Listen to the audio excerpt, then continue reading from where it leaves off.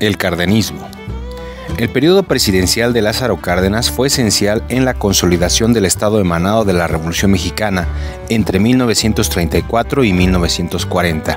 Se llevaron a cabo medidas de transformación de manera radical la vida política, económica, social y cultural del país. El sello más característico del cardenismo fue el nacionalismo, durante el gobierno de Lázaro Cárdenas se hicieron realidad cabalmente las expresiones revolucionarias de soberanía nacional y la Constitución de 1917 en todos los ámbitos. En lo económico, se llevó a cabo la expropiación de grandes fincas agrícolas que estaban en manos de extranjeros, la nacionalización petrolera y ferrocarrilera y la reorganización de la Comisión Federal de Electricidad. En lo político, se independizó la figura del poder ejecutivo de la influencia callista, fortaleciéndose con el apoyo del sindicalismo de tal forma que el movimiento obrero se transformó en una fuerza política esencial. Además, se fomentó la aplicación del artículo 33 constitucional, a la que los extranjeros que intentaban tener injerencia en los asuntos del gobierno del país fuesen expulsados. En lo social, se concretaron las demandas planteadas por las clases populares durante la Revolución Mexicana se llevó a cabo la formación de ejidos y el reparto agrario a gran escala, y se fomentó la formación de agrupaciones y corporaciones obreras y campesinas. En lo cultural, se instituyó la educación socialista y la difusión cultural masiva. Ahora bien, ¿cómo se concretaron en realidad dichos hechos? ¿Qué acciones gubernamentales debieron tomarse para ello? Para las elecciones de 1934, el PNR eligió al general Lázaro Cárdenas como candidato a la presidencia. Cárdenas era considerado un hombre progresista, ya que mientras fue gobernador de Michoacán, había concertado importantes alianzas con campesinos y obreros.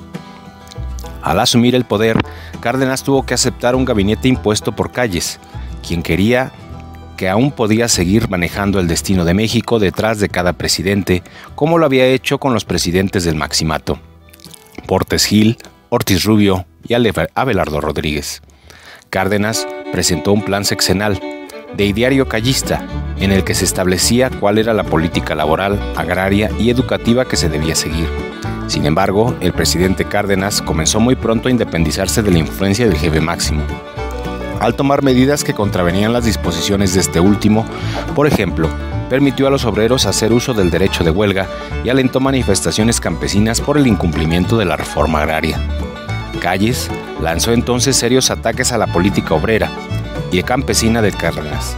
El presidente exigió al gabinete callista su renuncia y posteriormente, en 1936, expulsó a Plutarco Elías Calles del país y una vez libre de la influencia de Calles, Cárdenas comenzó a centralizar el poder en sus manos.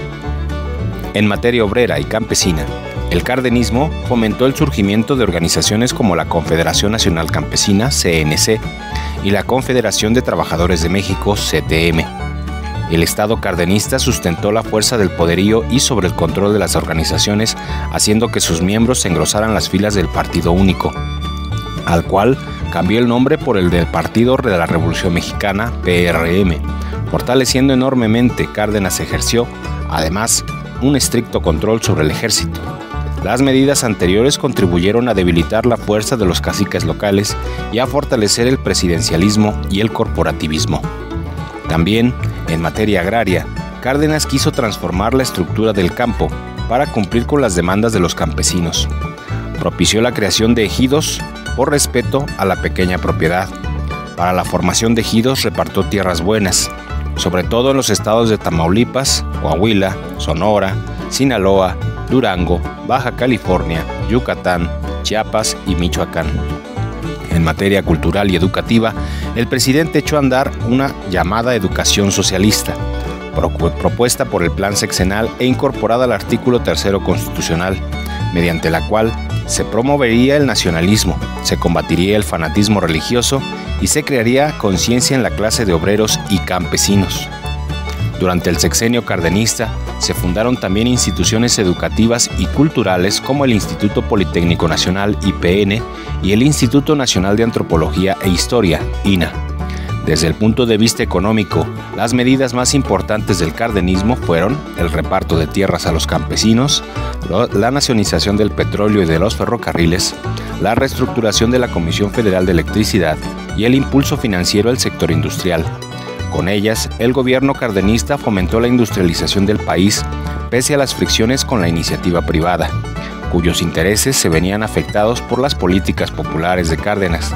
Asimismo, se modernizó el sistema bancario y se creó el Banco de Crédito Ejidal y el Banco Nacional del Comercio Exterior.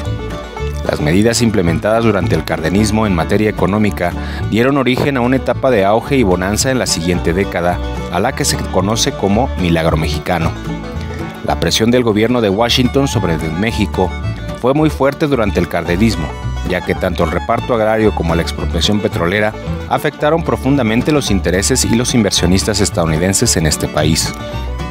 En los últimos años del cardenismo, los empresarios, los terratenientes y gran parte de la clase media se manifestaron en contra de las políticas populares de Cárdenas, reforma agraria, concesiones laborales, educación socialista, por considerar que estas habían traído crisis económica e inflación.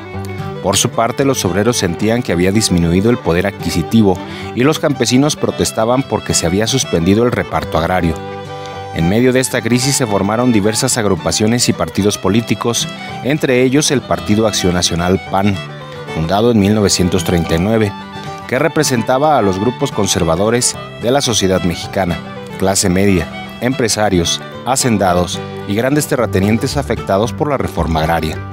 El presidente Cárdenas eligió como su sucesor al general Manuel Ávila Camacho, quien fue postulado por el PRM como candidato para el periodo 1940-1946.